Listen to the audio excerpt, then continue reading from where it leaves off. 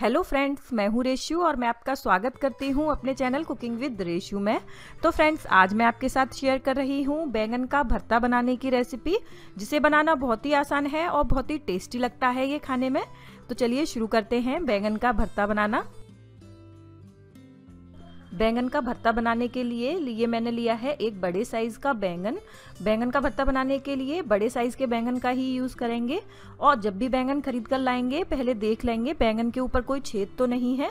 अगर बैंगन के ऊपर कोई छेद होता है तो बैंगन के अंदर कीड़ा निकल सकता है।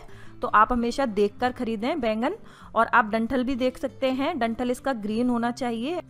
एक बारीक कटी हुई प्याज, दो मीडियम साइज़ के बारीक कटे हुए टमाटर आठ से दस कली लहसुन की बारीक कटी हुई। एक इंच अदरक का टुकड़ा, जिसे मैंने कद्दूकस कर लिया है, और एक बारीक कटी हुई हरी मिर्च। हल्दी पाउडर, आधा छोटी चम्मच। जीरा, आधा छोटी चम्मच। धनिया पाउडर, तीन चौथाई छोटी चम्मच। लाल मिर्च पाउडर, आधा छोटी चम्मच। गरम मसाला, आधा छोटी चम्मच से थोड़ा कम, नमक, तीन चौथाई छोटी चम्मच, या फिर अपने टेस्ट के अकॉर्डिंग नमक लेंगे। और लेंगे ऑयल ये मैंने सरसों का तेल लिया है। और लेंगे एक से दो पिंच हींग और बारीक कटा हुआ हरा धनिया। सबसे पहले बैंगन को भूनना है। तो ये बैंगन को चेक कर लिया है, इसके ऊपर कोई छेद नहीं है। फिर भी अगर आपको डाउट है कि बैंगन अंदर से खराब निकल सकता है तो आप उसे नाइफ की हेल्प से इस तरह थोड़ा सा कट कर लें। आप देख सकते हैं, मैंने कैसे किया है, इस तरह थोड़ा लंबा सा कट लगा लेंगे इसके ऊपर। पूरा नीचे तक नहीं कट करेंगे। अब इस तरह से थोड़ा सा ओपन करेंगे और देख लेंगे कि जो बैंगन है वो ख़राब तो नहीं है। तो अभी ये डाउट हो गया क्लियर कि जो बैंगन है वो अंदर से बिल्कुल ठीक है। तो अभी इसके ऊपर थोड़ा सा ऑयल लेकर ग्रीस करेंगे। ज़्यादा ऑयल नहीं लगाएँगे, थोड़ा सा ही ऑयल लगाएँगे, जिससे कि जो बैंगन का छिलका है, भूनने के बाद आसानी से निकल जाए।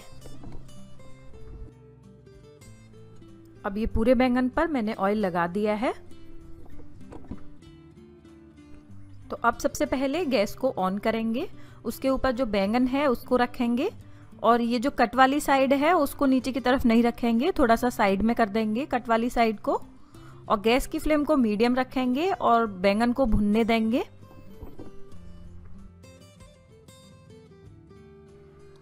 जब बैंगन नीचे की साइड से थोड़ा सा भुनेगा तो इसको इस तरह डंठल को पकड़कर थोड़ा सा घुमा देंगे। इससे डंठल से बहुत हेल्प मिलती है बैंगन को भूनने में। तो इसको आप पहले ना निकालें, जब बाद में भुन जाएगा बैंगन, तब निकालेंगे डंठल को। तो अभी भुनने देंगे इसको और इसी तरह से टर्न करते हुए बैंगन को भूनना है।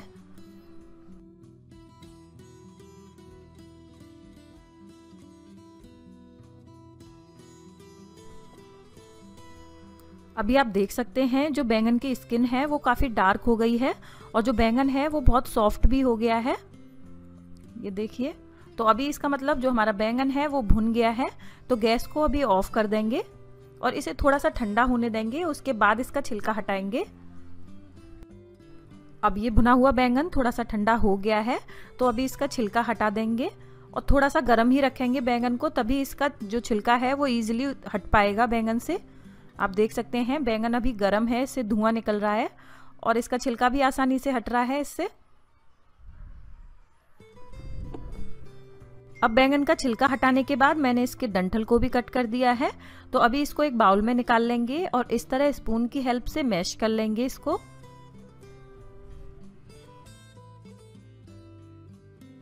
अब ये बैंगन को मैंने अच्छे से मैश कर लिया है।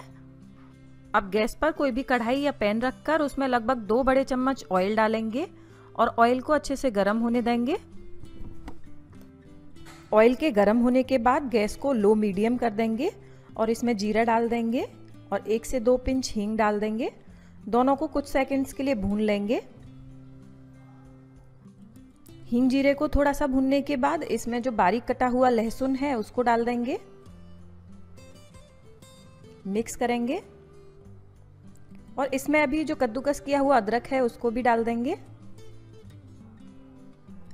और दोनों को लगभग दो मिनट तक लो मीडियम फ्लेम पर भून लेंगे, जिससे कि लहसुन का कच्चापन निकल जाए।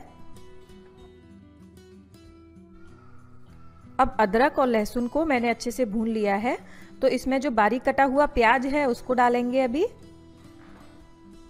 और प्याज को हल्का गोल्डन होने तक भून लेंगे।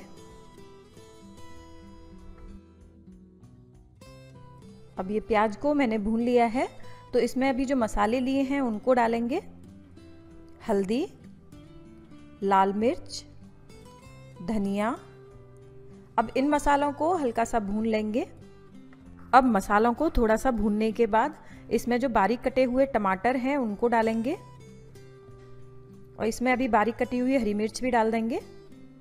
दोनों को मिक्स करेंगे अच्छे से।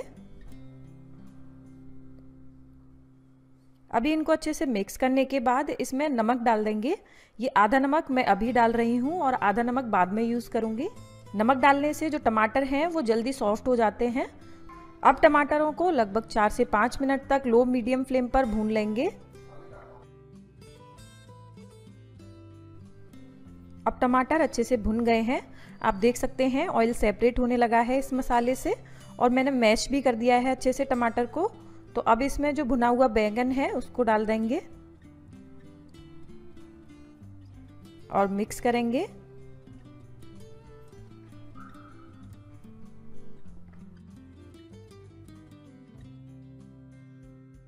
अब अच्छे से मिक्स करने के बाद इसमें जो बचा हुआ नमक है, जो हमने बचा के रखा था, उसको डाल देंगे इसमें। अब मिक्स करेंगे अच्छे से नमक को।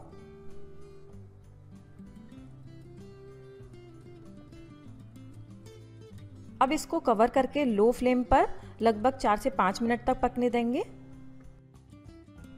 चार से पाँच मिनट के बाद ढक्कन हटाएँगे और भरते को अच्छे से मिक्स करेंगे और गैस को अभी मीडियम कर देंगे और इसे लगभग दो से तीन मिनट तक इसी तरह मीडियम फ्लेम पर भुनेंगे मिक्स करते हुए।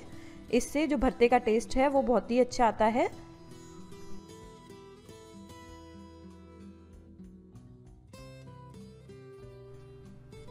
अब इसमें डाल देंगे गरम मसाला